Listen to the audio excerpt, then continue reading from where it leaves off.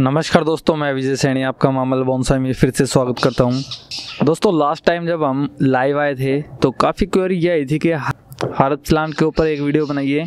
तो आज मैं आपको कुछ हर्ब्स के जो प्लांट है, वो बताऊँगा, जिनको आप अपने किचन के अंदर लगा सकते हैं, अपने बालकोनी में लगा सकते हैं, अपने गार्डन में लगा सकते हैं। एक एक करके मैं आपको नाम बताता हूँ। नंबर एक डिल दोस्तों, ये दिल नहीं है डिल है। डिल एक हर्ब प्लांट है ये दिखने में जो हमारा सौंफ का जो प्लांट होता है, वैसा होता है कुछ कुछ और इसके जो सीड्स है, वो भी सौंफ के जैसे होते हैं, लेकिन ये थोड़े से चपटे होते हैं। इनको आप अपने किचन में जो आपकी खिड़की है, वहाँ पे जहाँ पे सनलाइट आती हो, वहाँ पे लगा सकते हैं ग्रो कर सकते हैं। इसके सीड्स आपको जो सीड्स की शॉप होती है, वहाँ पे शायद ना मिले तो ये आपको ऑनलाइन लेने होंगे। और इनका जो लिंक है, वो मैं नीचे डिस्क्रिप्शन बॉक्स में दे दूँगा तो आप वहाँ से ले सकते हैं, और इनको पोर्ट में ग्रो कर सकते हैं ईजिली ग्रो हो जाते हैं, या आप अपने गार्डन एरिया में भी इनको ग्रो कर सकते हैं। हैं नंबर दो, होली बेसिल। इंडिया में इस पौधे की जो है पूजा की जाती है और ये बहुत ही फ़ायदेमंद होता है, इसे हिंदी में तुलसी कहते हैं। यह एक मेडिकल हर्ब प्लांट है। इसकी स्टेम ग्रीन होती है, लेकिन इसकी एक वैरायटी और होती है, जिसकी जो स्टेम है, वो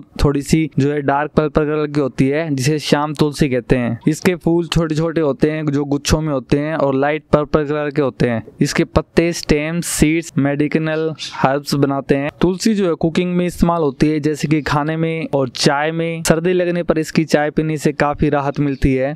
और इन इसके गुणों की जो लिस्ट है वो काफ़ी लंबी है। अगर हम पूरी लिस्ट बनाएँगे तो एक स्पेशल वीडियो इसी पर बन जाएगा। तो इसके बारे में हम कभी फिर अलग से वीडियो बना देंगे। तो आप तुलसी जो है वो ग्रो कर सकते हैं। तुलसी के अंदर कुछ प्रॉब्लम आती है कि ये सूख जाती है। तो देखिए, जब तेज़ गर्मी होती है, तब आपको इस प्लांट को बचाना होता है। दूसरा, जब तेज़ ठंड होती है, उस टाइम पर आपको प्लांट को बचाना होता है।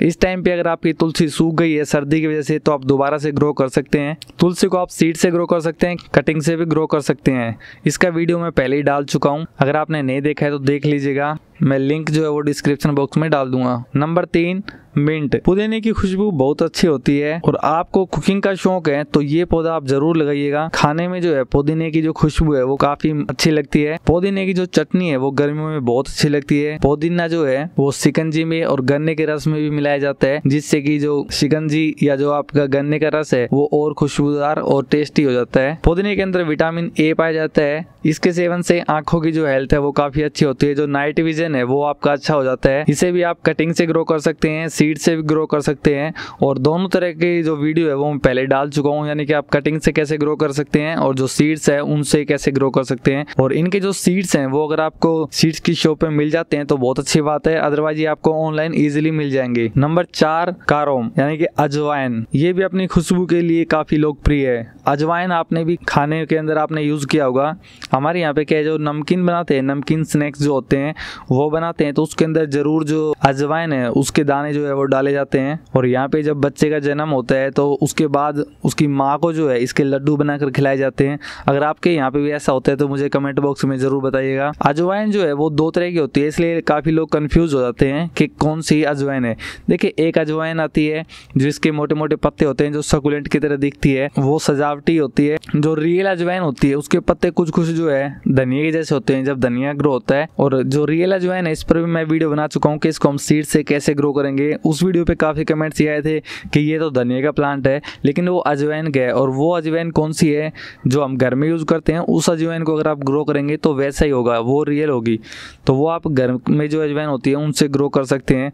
अगर आप जो सेकुलेंट जैसा दिखने वाला पौधा ग्रो करना चाहते हैं तो उसके सीड्स आपको शायद लोकल सीड्स की शॉप पर ना मिले तो आप उसको ऑनलाइन खरीद सकते हैं। लेकिन ये ध्यान रखिए, जो रियल अजवैन है, वो वही है जो आप घर में यूज़ करते हैं। और उसी के जो सीड्स आपके घर में जो है, उनसे ही आप इसको ग्रो कर सकते हैं। मैंने भी उसी से ग्रो किया था और वो इजीली ग्रो हो जाते हैं। आप चाहें तो हमारी वेबसाइट भी चेक कर सकते हैं ममल बोनसाई डॉट इन इस वेबसाइट पे आपको गार्डनिंग से रिलेटेड हिंदी में जो है आर्टिकल्स मिलेंगे, जिनको पढ़कर आपको काफ़ी बेनिफिट होगा अपनी गार्डनिंग में। और अगर आप एक बॉन्साई लवर हैं, आप बॉन्साई सीखना चाहते हैं तो इस वेबसाइट पे आपको शुरू से लेकर जो बॉन्साई है उसके आर्टिकल मिलेंगे, जो कि हिंदी में होंगे, ताकि आप इजीली समझ पाए। यानी कि मेरी खुद की भाषा में आपको वहाँ पे देखने को मिलेगा, और आप इजीली जो है वो बोनसाई सीख पाएँगे। नंबर पाँच एलोवेरा एलोवेरा एक ऐसा प्लांट है जिसके बारे में शायद ही किसी को ना पता हो। ये काफ़ी लोकप्रिय पौधा है, जो की हर गार्डन में आपको देखने को मिलेगा। इसको ग्रो करना बहुत ईजी है। इनको आप सीड से ग्रो कर सकते हैं, क्योंकि इनकी खेती की जाती है। या फिर आप चाहें तो इनके जो बड़े प्लांट होते हैं, उनके नीचे इनके जो बेबी प्लांट है, वो ग्रो हो जाते हैं। तो आप उनको अलग कर कर उनको भी ग्रो कर सकते हैं। इनको आप पोर्ट में लगाकर अपने किचन में रख सकते हैं या अपने बालकोनी में रख सकते हैं। इनको धूप में रखे पानी कम दे तो ये अच्छे से ग्रो करते हैं। एलोवेरा से काफ़ी बीमारियाँ दूर होती है। यह भी एक मेडिकल हर प्लांट है। इसके उपयोग की बात की जाए तो इसको भी खाने में उपयोग किया जाता है। इसकी सब्ज़ी भी बनाई जाती है और इसका जो जूस होता है, वो अगर मॉर्निंग में पिया जाए तो उससे जो पेट की बीमारी है, उससे छुटकारा मिल जाता है। और इसके जेल का उपयोग जो है, चेहरे पे काफ़ी तरह से लगाया जाता है, जिससे कि स्किन प्रॉब्लम दूर होती है चेहरा जो है, वो निखर आता है।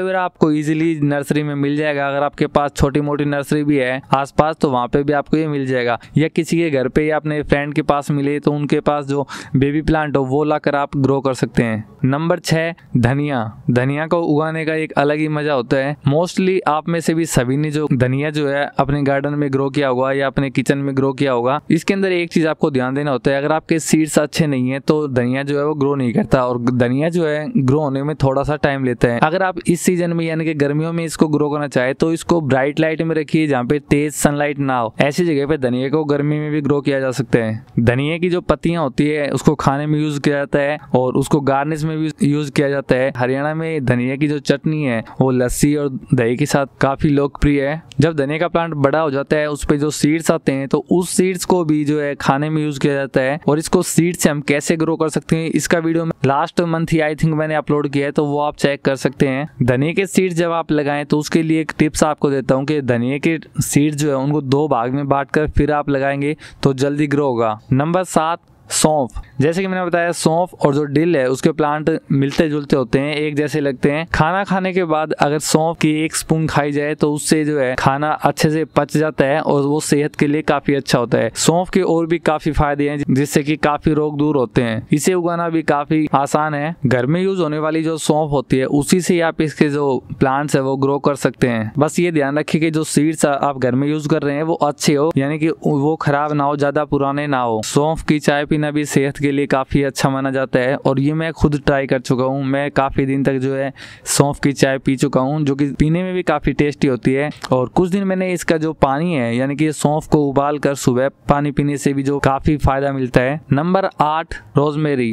रोजमेरी एक खुशबूदार हर्ब्स है, ये सेहतमंद है, इसके बहुत से हेल्थ बेनिफिट है। कहा जाता है ये पौधा जो है, तीस साल तक जीवित रहता है। इसके फूल सफ़ेद, गुलाबी पर्पल कलर के हो सकते हैं। इसे गार्डन में रख सकते हैं या आप अपने बालकोनी में रख सकते हैं और किचन में भी रख सकते हैं। इसको ऐसी खिड़की के पास रखिए जहाँ पे धूप आती हो। नंबर नौ लेवेंडर। दोस्तों, लेवेंडर जो है, वो एक खूबसूरत पौधा है, इसलिए इसको जो है डेकोरेटिव पौधे की तरह ज़्यादा यूज़ किया जाता है। इसे आप अपने गार्डन में किचन में बालकोनी में जहाँ रखना चाहे, वहाँ रख सकते हैं। बस ये ध्यान रखें कि उसको अच्छी ब्राइट लाइट ज़रूर मिलती हो। इसके लिए जब आप सोइल लें तो वेल ड्रेन सोइल ज़रूर लें। इसके भी काफ़ी हेल्थ बेनिफिट है, जैसे की इसके ऑयल से फंगल की प्रॉब्लम दूर हो जाती है। इसकी चाय पीने से पेट के जो रोग है, वो दूर हो जाते हैं। इसके उपयोग से जो है, बालों की जो समस्या है, जैसे की बालों का गिरना, वो कम हो जाता है और बालों की जो ग्रोथ है वो काफ़ी अच्छे से होती है। तो आपके पास अगर लेवेंडर का प्लांट है तो बहुत अच्छी बात है। या आपको किसी अच्छी नर्सरी में मिल सकता है या फिर आपको ऑनलाइन मिल जाएगा। नंबर दस, मेथी। सबसे इजीली जो ग्रो होता है वो है मेथी।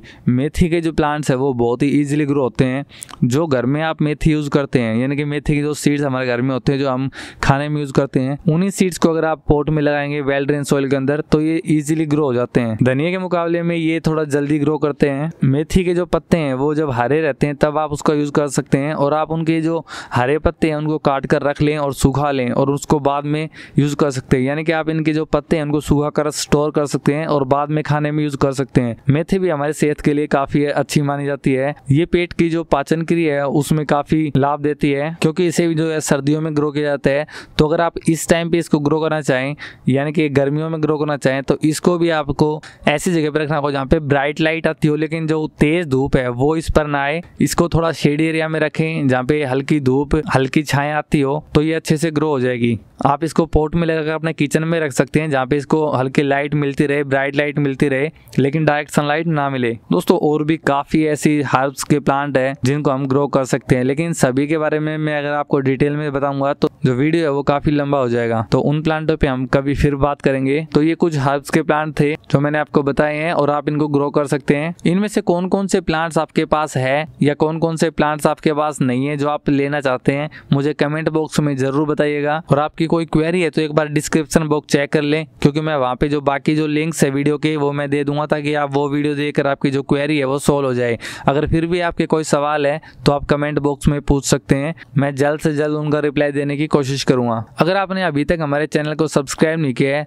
तो चैनल को सब्सक्राइब करके बेल आइकन दबा दीजिए, ताकि जैसे ही हम वीडियो अपलोड करें, आपके पास नोटिफिकेशन चल जाए और आप कोई वीडियो स्किप ना कर पाए। और वीडियो को लाइक और शेयर ज़रूर क्या करें। अपना सपोर्ट दिखाएँ, अपना प्यार दिखाएँ। एक नए वीडियो के साथ फिर मिलेंगे। तब तक अपना और अपने माता पिता का ख्याल रखिए। शुक्रिया।